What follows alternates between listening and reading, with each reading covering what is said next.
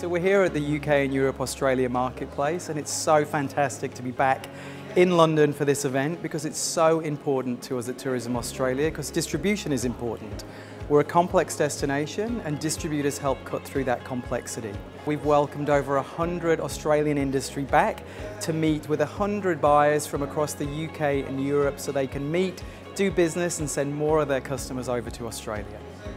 It's been three years since we last hosted a marketplace face-to-face -face here in London and it's just such a delight to have everyone back in the same room. So far we've had a fabulous response. People are really excited to be here reconnecting face to face with their business partners. For those who don't know, us at Tourism Australia, the UK and European markets are so, so important to us. You deliver the customers that travel further, uh, disperse widely and they spend more. And they go to states that some of the other travellers don't get to as well, so it's really important for us. But it's amazing being able to market somewhere that exceeds expectation. They think uh, we're good, but when they come, they think we're great. Feedback so far has been overwhelming.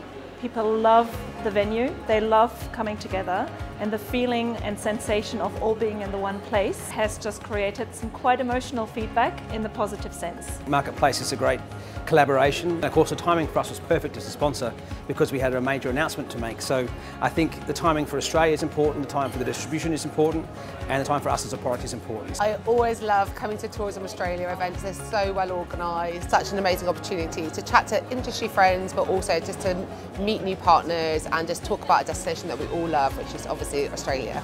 We've also had great positive feedback about the organisation that it's been a really well organised event, both feedback from the buyers and from our suppliers so I think everyone everyone on all fronts is really happy about it.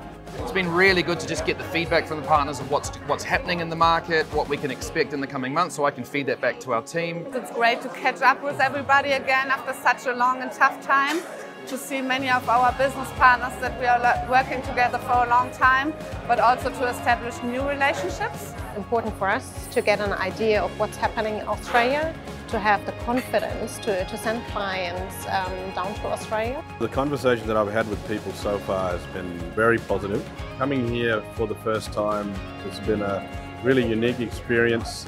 I've ended up meeting some people who I've going to promote my business even further. There's the dedicated schedule, but there's also all these pockets of time for really good connections to really help build and cement those relationships for those people that might have come to the market once or twice before or might be fresh and starting to really introduce themselves. Something that's never been done anywhere in the world, so we're very excited.